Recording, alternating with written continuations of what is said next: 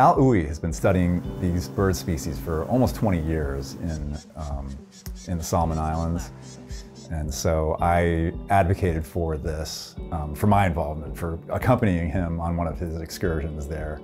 So Solomon Islands are in the middle of the South Pacific, very far away. It takes five flights to get there. I think I went from Rochester to, to Detroit, from Detroit to LA, LA to Nadi in Fiji, um, from Nadi to Honiara, the capital of the Solomon Islands, from Honiara to Kirakira on Makira Island.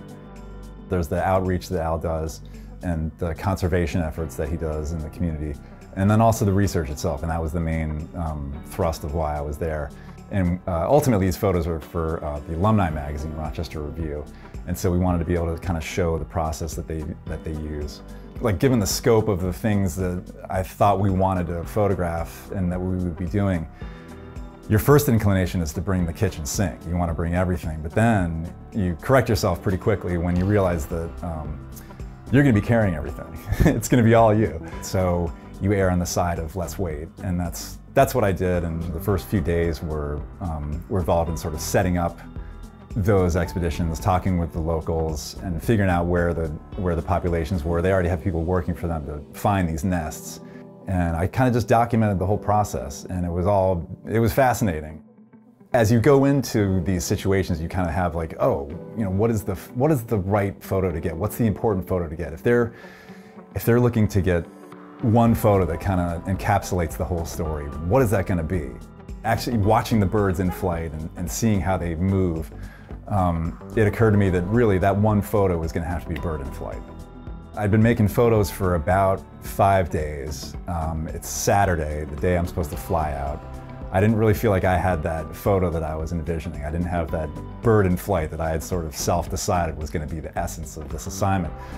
Fortunately, my flight was delayed by a couple hours, and that gave us a couple more hours to shoot. Al took me out along with one of his assistants. We went into an area just outside of, the, uh, of Kirakira, and they set up a decoy and they set up a speaker to play sounds, bird calls. And we got methodical about getting those pictures. And really that was the only way. It was the only way we were gonna be able to do that.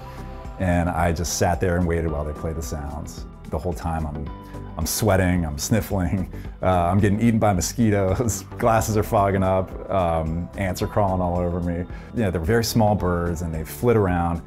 So I was having issues kind of keeping them in focus, even though I was fortunate enough to have a decoy that I was shooting around. and You kind of focus on that decoy, but the depth of field changes quickly and you're shooting wide open so you don't have much to work with.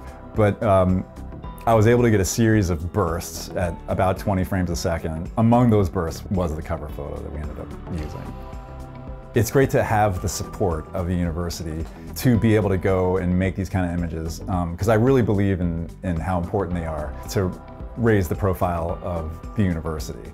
If we can show what our scientists are capable of accomplishing and we can kind of bring that to the larger world, um, it does a huge service. Ultimately, I hope it leads to more stories because I know there are more stories out there to be told.